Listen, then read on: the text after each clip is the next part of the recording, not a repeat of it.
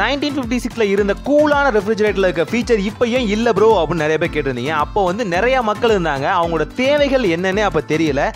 இப்போவும் அதே சைஸ் மக்கள் இருக்காங்க. ஆனால் அவங்க தேவைகள் இப்போது தெரிஞ்சிருச்சு. அதுதான் ஃபீச்சர்ஸ் கம்மியாகிறதுக்கான காரணம்.